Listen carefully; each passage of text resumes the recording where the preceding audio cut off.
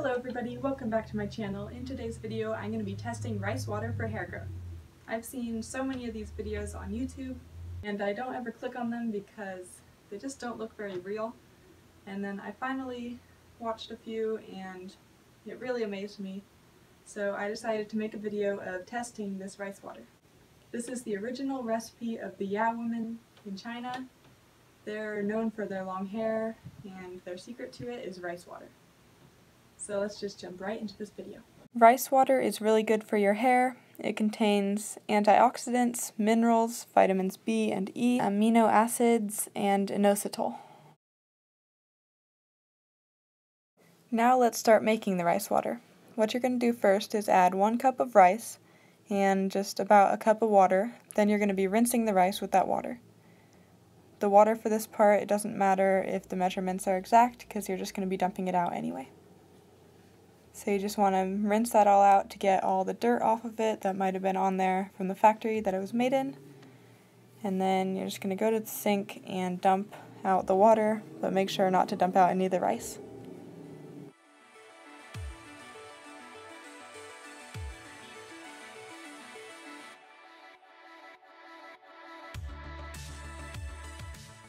After that, you're just going to take a mason jar, or about 32 ounces of water, and pour that into the rice.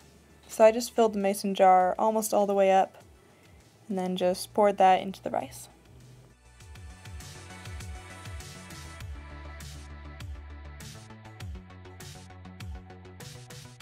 The next thing you're going to want to do is mix the rice water for about 5 minutes. It is a long time, but you want to make sure you get all the good nutritious stuff out of the rice. Now what you're supposed to do is take a grapefruit and just cut off the peels. Traditionally the Yao women use a pomelo peel, but those are very hard to find and the closest thing to them is a grapefruit.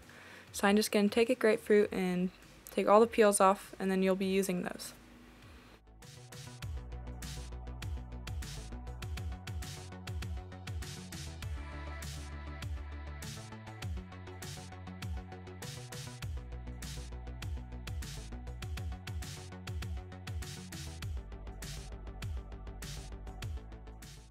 Then you'll just want to set the grapefruit peels aside. Now back to the rice water.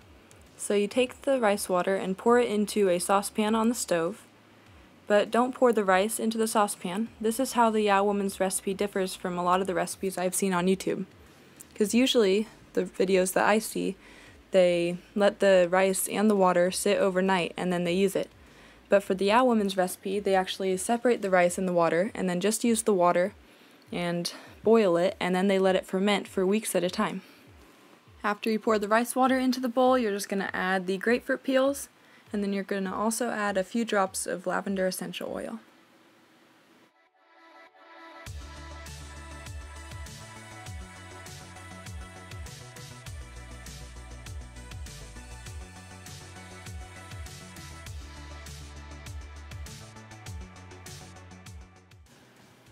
Then you're going to turn the pan on high for about 7 minutes.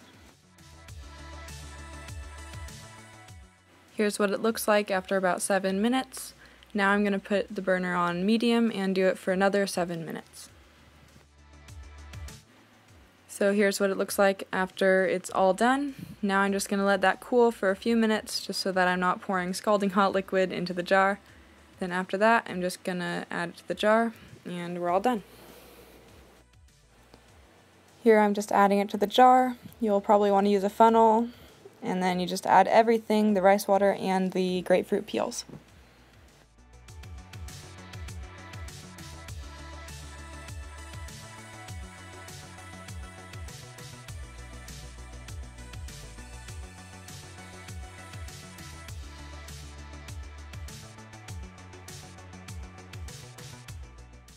Now you're just gonna put on the lid and let that ferment for about a week.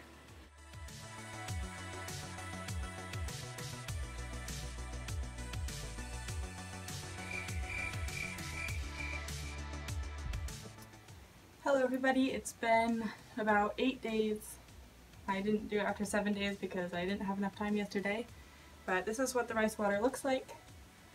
And I don't think it's going to matter that I did it a day late because the women actually ferment theirs for like weeks and even months at a time sometimes. So it really doesn't matter. But anyway, I'm just going to be pouring this into this bowl. Then I'm going to like flip my head upside down and get it all through my hair. So let's just do that. So here I'm just dumping the water into the bowl. You want to dump just the water, not the grapefruit peels, like I accidentally did. so if you do, just take those out. And then I'm just going to flip my hair upside down and make sure every hair is completely saturated with the rice water. I'll rub it into my scalp and dump it over the top of my hair with this cup. And then after that, you're just going to be leaving it in a bun for 20 minutes because that's about how long the Yao women do it. So I'm going to be leaving it in my hair for 20 minutes and then I'm going to be rinsing it out with regular water. For the Yao women, this would be the only thing they use to wash their hair, and they'd use it about every three to four days. But for me, I decided to wash my hair earlier today, and I just used my regular shampoo and conditioner. So you can just use whatever shampoo and conditioner you want. And I actually make my shampoo and conditioner. I have a video for it if you wanted to check that out. I'll put it in the description box. But you can just use whichever shampoo that you use normally.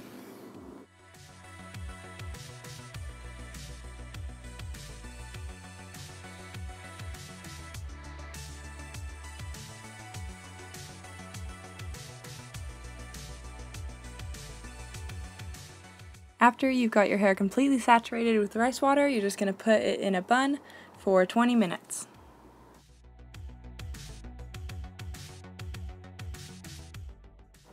So after I've left the rice water in my hair for 20 minutes, I'm just going to rinse it out. And how I'm rinsing it out is I got a bucket of water and I just filled it with clean filtered water.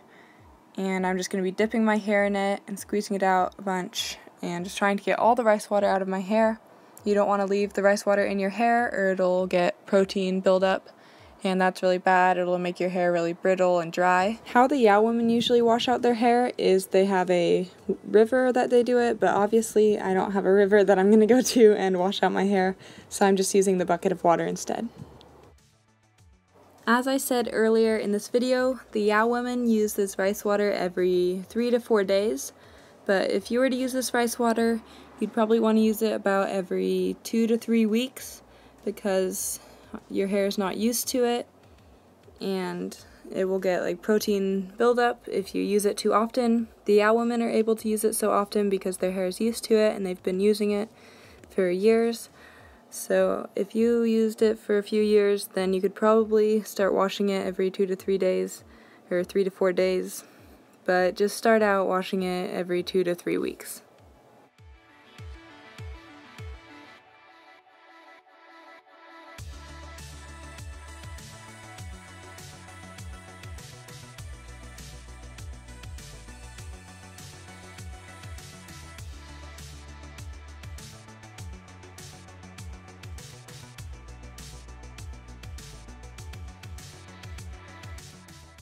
Okay, so I put the rice water in my hair and I wash it out.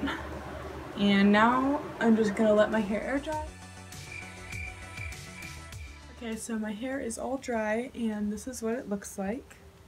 It, so I think it worked pretty well. So my hair felt really thick after I used this and it might have just been dried out because I just washed it and then I pretty much washed it again so that might be why it was dried out. But it was really thick and it was a little bit hard to comb through. But overall, I think my hair was better than it was before I used to this.